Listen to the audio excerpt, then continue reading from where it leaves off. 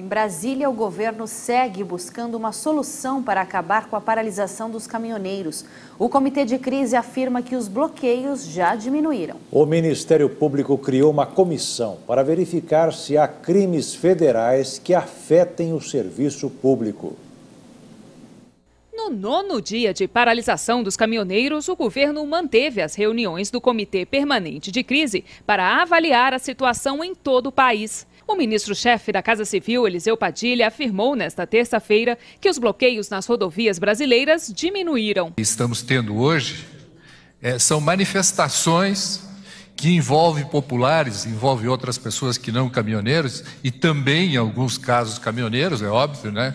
Em que o cunho da manifestação já não ela extravasa as questões e reivindicações dos caminhoneiros e ganha já um corpo de manifestações políticas. O governo afirmou ainda que foram identificadas pessoas infiltradas no movimento dos caminhoneiros que têm interesses políticos e econômicos que nada têm a ver com as manifestações originais da categoria. A Polícia Federal já abriu 48 inquéritos em 25 estados para apurar a suspeita de lockout na greve dos caminhoneiros. Com a abertura dos inquéritos, a PF já começou a ouvir representantes de associações que representam caminhoneiros e empresários. O Ministério Público também está preocupado com práticas abusivas. A Procuradora-Geral da República, Raquel Doge, criou um comitê de acompanhamento para verificar se estão sendo cometidos crimes federais que afetem os serviços públicos. Doge disse que a paralisação dos caminhoneiros afeta direitos fundamentais da população. É certo que há direito à greve, é certo que há direito ao protesto e à reivindicação, mas também há uma responsabilidade por abuso de atuação que possa resultar em um prejuízo para indivíduos, para grupos e para coletividade. Não é por outra razão que há muito, desde a edição do Código Penal, estes abusos são tipificados como crime no país e o Ministério Público é, está atento a estas práticas abusivas. No Congresso também aconteceram reuniões importantes para discutir a crise. Uma comissão que reuniu deputados e senadores teve a participação do Conselho Administrativo de Defesa Econômica. O CAD apresentou nove propostas que têm o objetivo de aumentar a concorrência no setor e reduzir os preços dos combustíveis que chegam aos consumidores.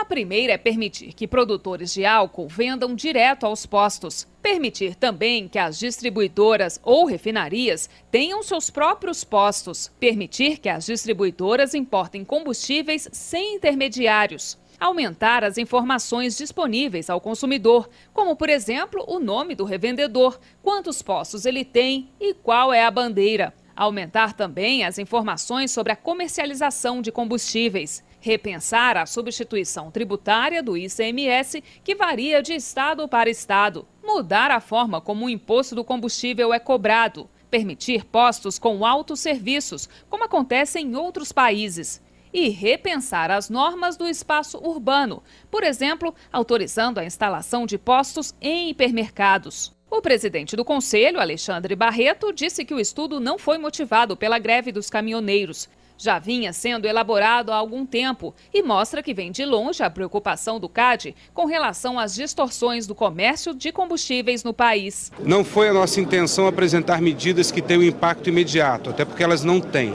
São medidas para repensar o setor, repensar a estrutura do setor, medidas que podem trazer benefícios competitivos para o setor, são medidas pró-competitivas. Nesse momento de crise, é, o importante é estancar a crise estancada a crise, é, abre-se sim a oportunidade para discussão sobre a estrutura do setor e sobre os preços do setor. E diante de uma estimativa de perda de 3,7 bilhões de reais por ano, os governadores devem comunicar ao governo federal que não poderão reduzir o ICMS sobre o valor do diesel nos estados. O argumento é que os governos estaduais não poderão abrir mão dessa receita neste momento e que estão com dificuldades de encontrar uma outra fonte de recursos que compense a queda na arrecadação. Pela manhã, o presidente Michel Temer participou do Fórum de Investimentos Brasil em São Paulo. No discurso, não citou a greve dos caminhoneiros, mas disse que o governo vai exercer a autoridade quando o diálogo não resolver. Quando alguns rejeitam o diálogo e tentam parar o Brasil, nós exercemos a autoridade para preservar a ordem e os direitos da população. Mas antes disso, um diálogo é fundamental. Leve quanto tempo levar, porque isto é fundamental para o exercício que a Constituição determina, ou seja, a democracia plena no nosso país.